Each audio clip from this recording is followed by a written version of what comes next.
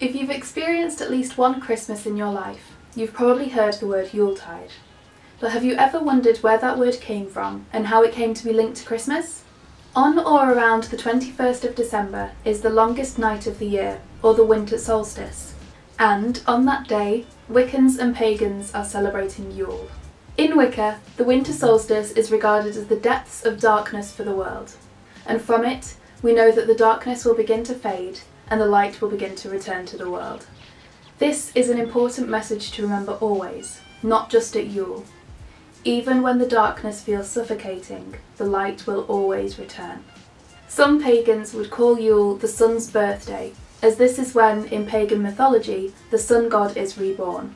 Remember that at Samhain he was wandering the world of the dead, and now he is back and stronger than ever. Many pagans also believe in twin brothers called the Holly King and the Oak King. Some pagans believe in them literally, while others prefer to regard them as a metaphor. The Holly King reigns over the latter half of the year, the darker half, and the Oak King takes over when the light begins to return. This concept could be exactly why holly is so closely linked to Christmas time. Paganism is closely connected to the earth, and it's no surprise that at this time we like to bring the outside in and the tradition of bringing evergreen into the home started with ancient pagans. Mistletoe is regarded as being a healer and a protector, and holly is said to ward off unwanted spirits. Ivy is a symbol of rebirth, immortality, and resurrection, as is the yew tree. And pine is used to bring healing and joy into the home, and it's often burned to bring purification as well. For centuries, pagans have used evergreens to make wreaths, and these are either displayed hung up or laid flat with candles which later grew into the Christian Advent wreath.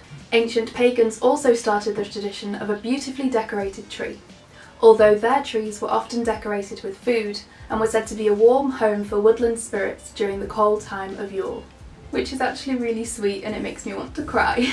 Since this Sabbat is all about the return of the light, it should come as no surprise that candles are burning everywhere thanks to pagans. Typically, we use red, green and gold candles, as those are the colours of the season. There are many other pagan traditions that have crept their way into our modern celebrations, including the giving and receiving of gifts, the concept of a Yule log, although the traditional pagan one is less chocolatey and more literal log-y, and many more. I've mentioned in a previous video that historically Christians and pagans got on quite well so it's no surprise that so many of our traditions overlap so closely.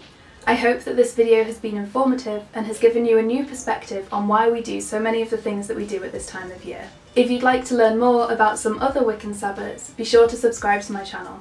Other than that, have a lovely day and blessed be. La la la la la la pagan.